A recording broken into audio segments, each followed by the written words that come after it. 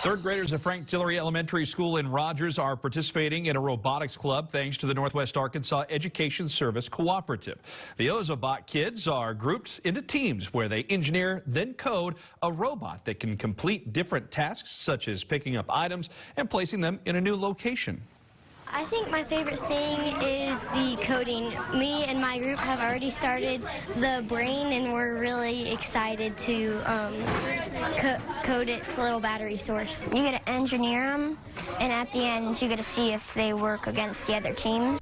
Love it. Excitement right there. The club meets once a week and is equipped by the Rogers Public Education Foundation.